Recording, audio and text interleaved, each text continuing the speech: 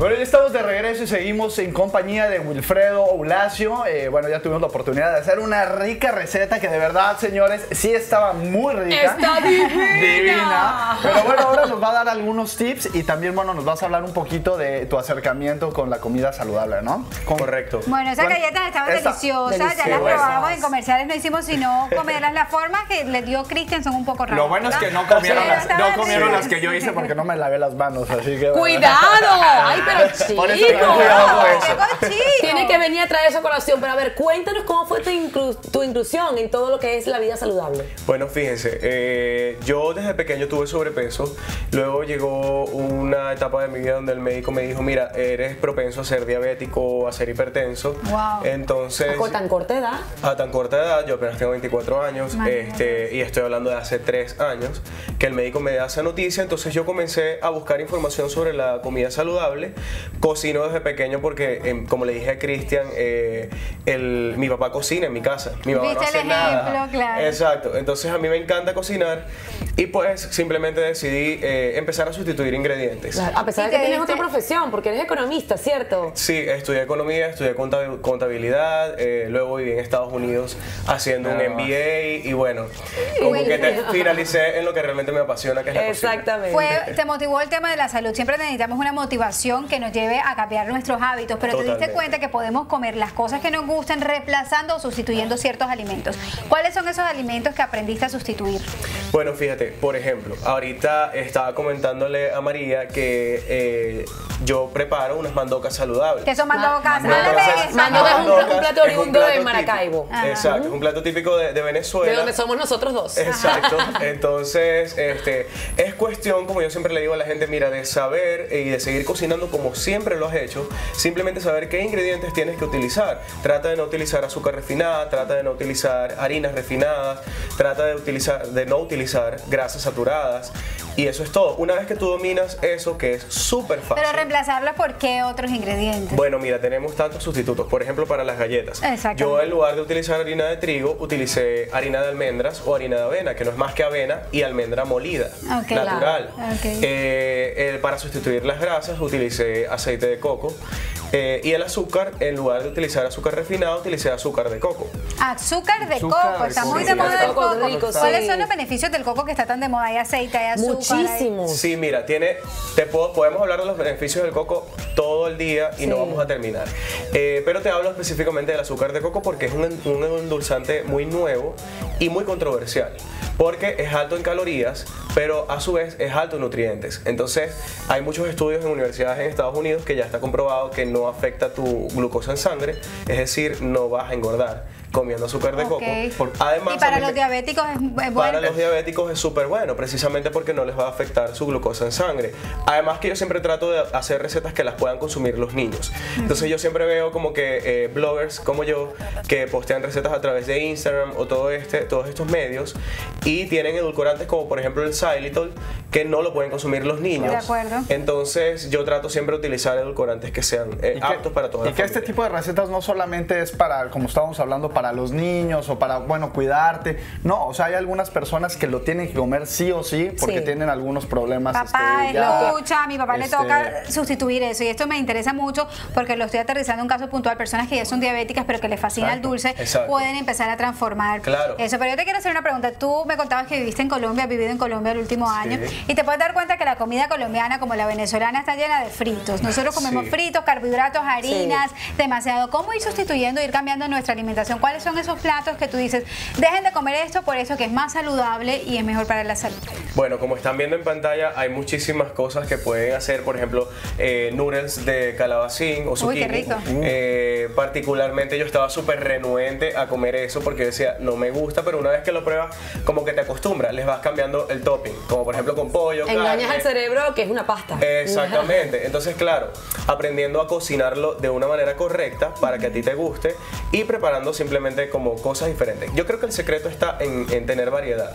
A mí me gustan los platos coloridos, divertidos, que cuando llegue el momento de comer yo no me sienta obligado a comer algo que me mandó el médico, sino que más bien motivado y feliz con lo que voy a comer. Y es que uno ve que las personas que hacen dieta son la pechuga insípida, pálida, con tres brócolis y uno dice, Dios mío, esta es mi comida todos los días. También existe el caso, y te lo quiero preguntar a ti puntualmente porque ya que rebajaste más de 52 kilos, eh, quisiera saber todas esas personas que están en su casa y que empiezan a comprar puras comidas de dieta, todo lo que diga like, like, like, like, like, like. entonces, todo, ajá, tienen todos los implementos en la casa, pero entonces van y se meten avena en la noche o exceso de fruta en la mañana, no porque estoy a dieta, entonces creen que eso les va a caer bien. Totalmente. ¿Qué es lo que tienen que hacer?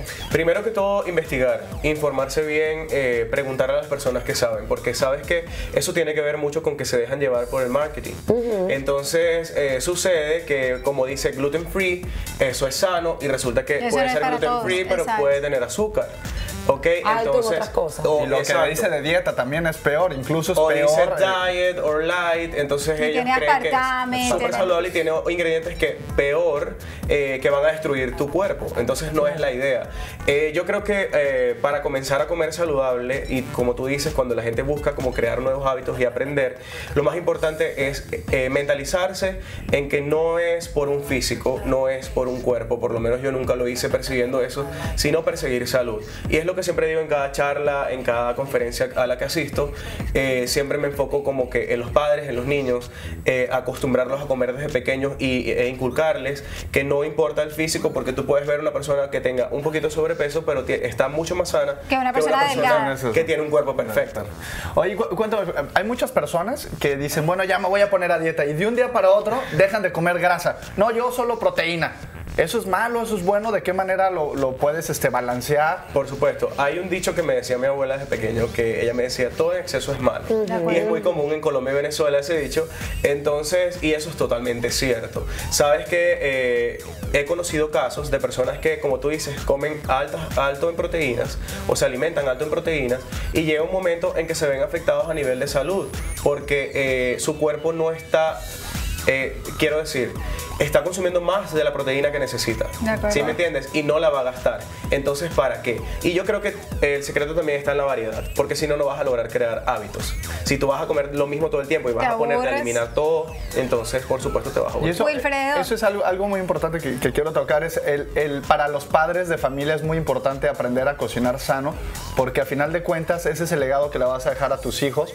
Si tú les enseñas a comer sano y los acostumbras a, pues, a esta variedad, ellos simplemente siempre van a estar. Totalmente, mira, me han pedido asesorías en casas y cuando yo llego al hogar siempre eh, quieren que los niños comiencen a comer saludable, pero entonces resulta que cuando abro la despensa eh, lo único que tienen es comida chatarra. De acuerdo, entonces yo digo, mira, tienes que comenzar por allí. Eh, no lo compres porque si está allí es una opción. Chucherías y todo Los padres son los primeros que influencian, somos los que influimos en lo que nuestros hijos van a comer. Pero bueno, yo les quiero hacer una pregunta a propósito de comer sana. ¿Alguna vez han escuchado el término hambre emocional.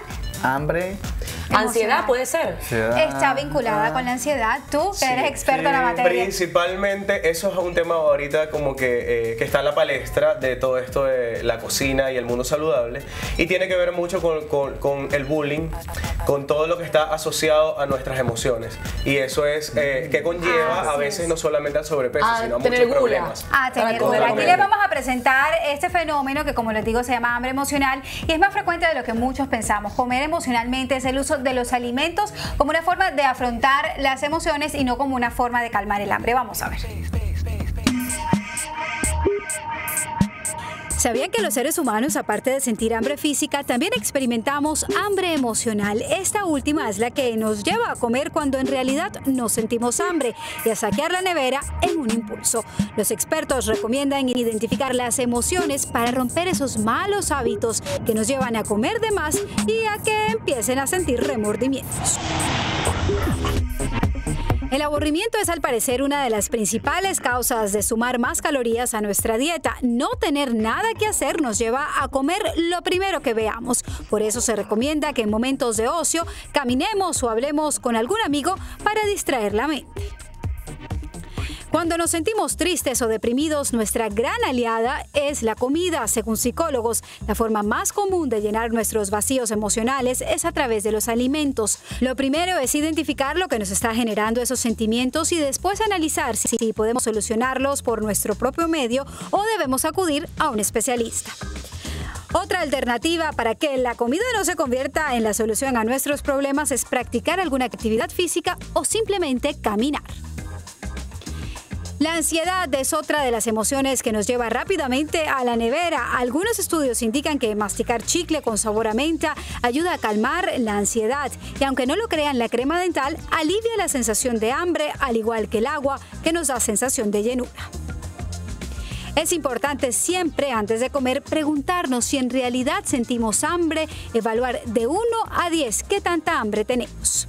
Hay un tip muy importante a la hora de identificar si tenemos hambre física o emocional. Normalmente, un antojo por carbohidratos o por un alimento específico como un rico postre de chocolate es el campanazo de alerta de que en ese momento nos está moviendo el hambre emocional. Si por el contrario, lo que te provoca es algo saludable como una fruta, se puede comer tranquilamente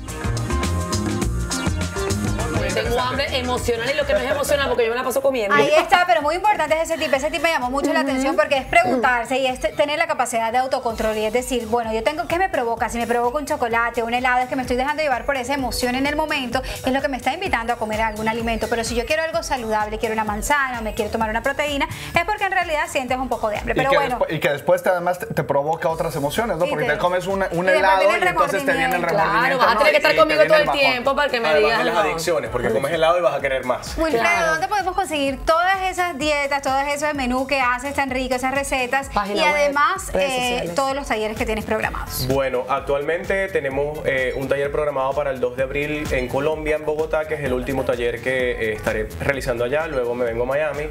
Pero pueden conseguir todas estas recetas y toda la información de todos mis eventos a través de mis redes sociales en Instagram, arroba Wilfredo Ulacio, en Facebook mi nombre, Wilfredo Ulacio, y en Twitter, arroba Wilfredo Ahí lo viendo en pantalla. Muchísimas gracias por estar con nosotros, Wilfredo. Un gusto. Ustedes en Bogotá no se pueden perder esta invitación este taller. Y nosotros vamos a cumplir con nuestros anunciantes, pero ya regresamos con mucho más aquí en Trendiana.